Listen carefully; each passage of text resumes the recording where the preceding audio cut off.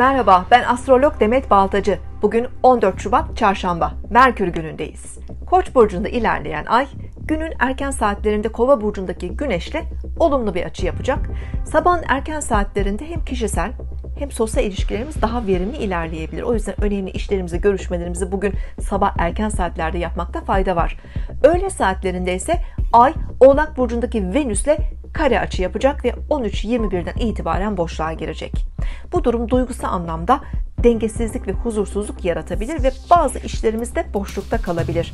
Ay 13-21 ile 18.02 arasında boşlukta olacak. Bu ne demek? Bu saatler arasında önemli işlerle, görüşmelerle ilgilenmeyelim.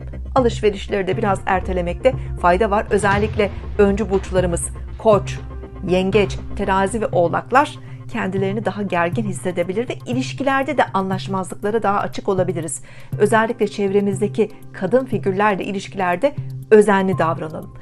Kişisel keyif, konfor, güzellik, estetik gibi alanlarda da memnuniyetsizliklerimiz artabilir. 18.02'den itibaren Ay Boğa burcuna geçecek.